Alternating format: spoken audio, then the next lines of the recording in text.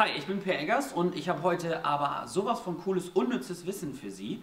Das müssen Sie unbedingt im Büro jetzt mal nachprobieren. Und zwar, Sie kennen doch den typischen High Five. Robert, High Five. So, der sieht immer peinlich aus, wenn der nicht funktioniert. Hier kommt der absolut ultimative Tipp. Ein High Five funktioniert immer dann, wenn man auf den Ellenbogen des Kollegen schaut. Robert, nochmal, nochmal, andere Hand. Immer auf den Ellbogen.